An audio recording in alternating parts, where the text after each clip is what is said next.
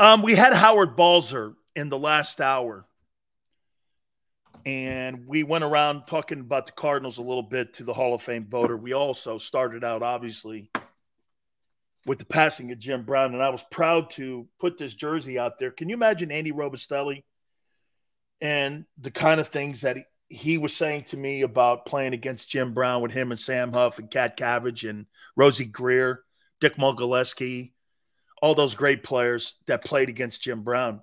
And I'll, before I bring um, Jason Cole in, uh, Andy used to say when Jim Brown ran through the line of scrimmage, you heard like a train whistle. It was just like a train whistle when he went through the line of scrimmage. And Jason also is a Hall of Fame voter. Do not forget his book. Please do me a favor. Amazon. It's a must read. And we bring in our Hall of Fame voter now. Boy, what a day, man. I mean, you talk about certain people. And Jace, I put these guys out there and I said this there's certain dudes that when you watch game film on Jim Brown, Jerry Rice, Lawrence Taylor, Tom Brady, those are kind of your Mount Rushmore guys uh, but is there anybody more respected in that Hall of Fame in Canton as a football player than Jim Brown? Whew. Um, no, because you're talking about an era, you know, where it's tough guy football. You know, it's, I mean, the 50s, 60s are about as rough as the game gets. Probably maybe some of the 70s because of the defensive rules obviously the 30s and 40s it's just a different game i mean it's it's basically a scrum but you're talking about after the you know basically the invention of the t formation um this is run and run hard and t- you know small rosters that have what 40 guys or 37 guys so it's not anything close to the same game in terms of the strategy or the the strategy that's allowed you know like there was no keeping five receivers in a roster. that just didn't exist, right? So Jim Brown played in about as tough an era and dominated in about as tough an era as you could possibly imagine. And there's the only guys who are up there in terms of toughness and talent, you know, would be guys like Butkus, you know, and Lawrence Taylor. Um, you know, who is the the the Eagles' great linebacker? Chuck Bednarik yeah, you know, Bednarik, you know, Concrete Chuck is, you know, like there's just a there's a short list of guys who evoke that kind of respect when you talk about game ability. When you're talking position players too, Jason, don't you agree that Brown you could make the argument that Jim Brown's the greatest position player and and again, the, how I look at it, Jace, because obviously eras are different. I mean, he played 12 games um, the first half of his career, and he still was able to get 12,000 rushing yards in nine seasons. Um, and so there's a lot of factors. Obviously, the players are bigger and faster today. Maybe not with the same technique because players, when you went to a team, you stayed on the team. But I mean, for one guy's era, would you not agree? All the guys that you vote for, would you not say that of all the players that dominated their respective decade, he dominated his decade more than any other player in the history of the NFL. Well, Don Hutson, in, as a wide okay. receiver in Green Bay, you know, is is is you know right up there. And Jerry Rice, like Jerry Rice's records are still like so far out of reach from a career perspective. But Jace, those guys were reliant on a quarterback and a throwing uh, game. This guy I, I, was yeah, handed the ball. I'm just saying, you know, in terms of how how far out of reach you know, for a position player, you know, what they do. Um, so like Jim Brown is up there with, you know, we're talking rare air, okay? Yeah. And and and so you know, are we talking? We're talking. We're mincing. We're mincing qualities among two, three, four guys. Um, and and Brown, you could easily say that Brown was the greatest to ever do that. Um, he's also like when you go back and you look at it, he looks like a modern running back, you know, a two six foot one, six foot two, 220, 230 pound man, playing against guys who are 250 at the heaviest, which is an advantage for him, but also tells you what kind of physical specimen he was to be able to run like that and make moves like that at that size at that era. So I think he's one of the few guys who can play the modern game. It is obviously different, but uh, he's just such a. It's like watching Babe Ruth, you know, film of Babe Ruth and how big he was compared to the guys who were playing baseball back then. Jace, do you agree that he was probably Colin Kaepernick with all those exploits in an era where that wasn't accepted and you couldn't talk like that?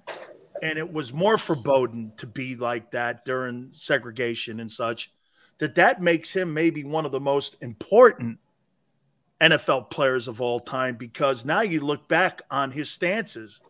He was right. I mean, end of the day, you talk about one of the more important players, not one of the just best players, but important players, and the modern day player has to be Jim Brown.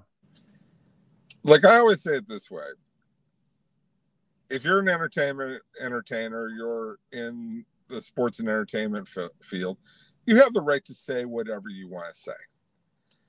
But the crowd generally, you know, for a lot of guys, the crowd, you know, like t- tunes you out there are a handful of guys who can say whatever they want to say and have the impact that they want to hit, have. And Muhammad Ali and Kareem and Jim Brown are on a short list of those guys who they can say whatever it is they want to say and voice their opinion. And people get may get pissed off, but right after that they go, "How much is the ticket?" I hate that Muhammad Ali guy. He's a loudmouth. He's a this. How much does it cost? Yeah. Oh, it's on it's on pay per view. How much do I have to pay? You know. Oh, Jim Brown's playing. Um, what's it? You know, ticket? Oh, I, I hate what I hate said. What's a ticket? Yeah, like that's how that works with guys like that. And you know, it, it may not be fair, it may not be right, but that's how it works. If you're that talented, you can say whatever you want. Couple NFL questions for you. Cowboys are talking potential extension about Dak Prescott. Dak's kind of got him over a barrel again.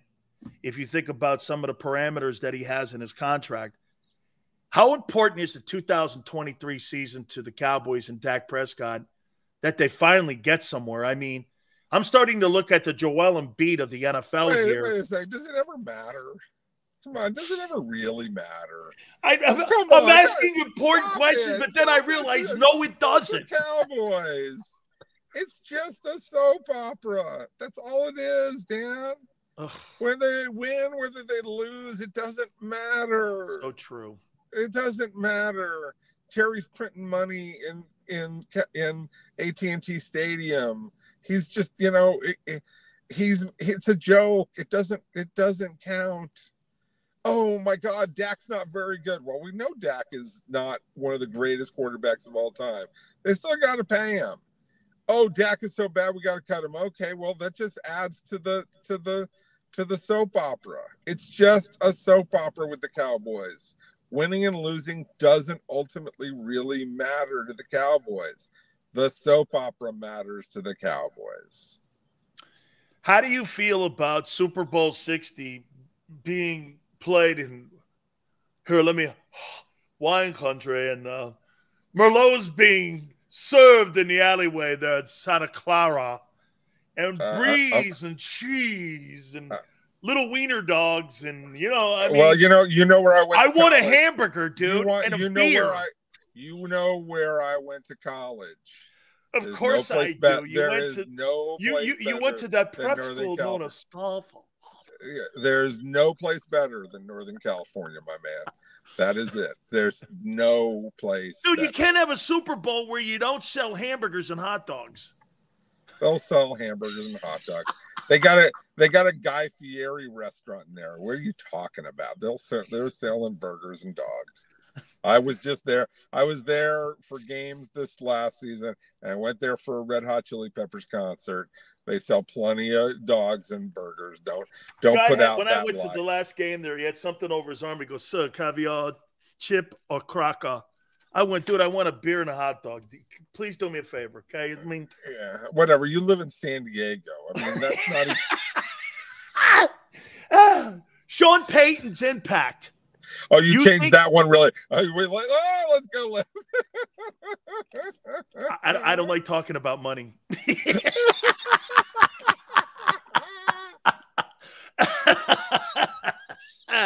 Uh, see, I'm more like Jalen Hurts. You know, I'm more yeah, about yeah. team. yeah, that's yeah, that's good. That's good. All right. So, what about Sean Payton? You're full of crap. okay. Oh my god. Sean Payton, you think this guy really turns around Russell Wilson? Yeah, because I mean, Russell. Look, Russell's under pressure on under from two perspectives. Number one, he just played a crappy, crappy season. Number two, this is the guy he's always wanted to play for. Like, if it doesn't work with this guy, hey, Russ, it's on you, pal. If you can't play well for Sean Payton, it's on you. It ain't on, you know, like the the offensive coordinator from last year. It's not the or the head Nathaniel Hackett. Yeah, it's not like oh that that that schmuck. Uh, you know he wasn't very good. It's his fault. No, no, no. You got the guy you wanted. The guy who coached Drew Brees, won a Super Bowl, got to the playoffs a bunch of times, helped Drew Brees set a bunch of records, go to the Hall of Fame. Blah blah blah blah blah. This guy knows what he's doing. It's on you, pal, and you begged for him too. You begged for him to come and, and coach. Yeah, you. but Jace isn't both guys. I mean, I mean, look, Sean Payton had Drew Sean, Brees. Sean, I mean, Sean, Sean look, I understand how it really works, but I'm talking about public perception and perception that Russell Wilson has to live with.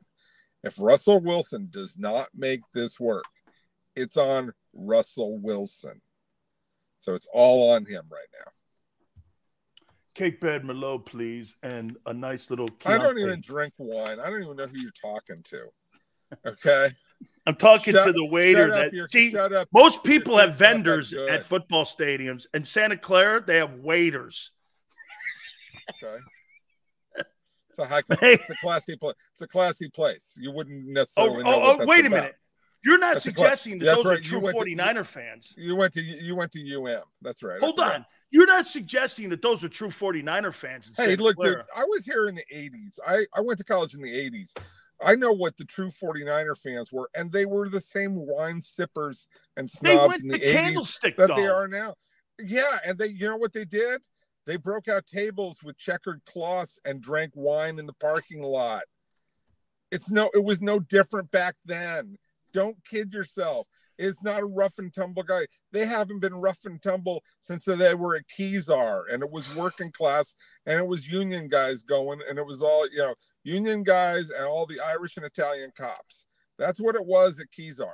Oh, see how we throw in the then. Italian guys from the from North because, Beach? Yeah. Okay, because that's what it was.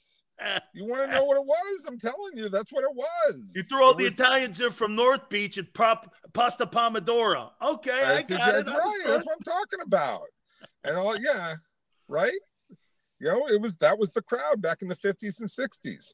You know, before they had to, you know, I mean, I'll tell you, I covered a game in Kezar, uh, you know, a high school game in Kezar. There were like 200 people there. There were more seagulls in the stands than there were people. Hey, hey, that was a spooky hey, place. A somebody cool in the middle though. of the game, somebody goes, "Did didn't didn't uh, Dirty Harry shoot the guy in this place?" I'm yes. Like, yeah, that's where, where it happened.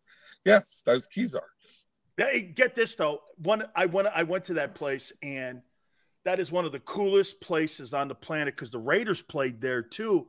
Yeah. And they've downsized that place, but that Kezar Stadium, man, that's got a lot of history there. The old, if you ever go, they play high school games there now. Yeah, the, the it's a soccer stadium in, a, in yeah. high school.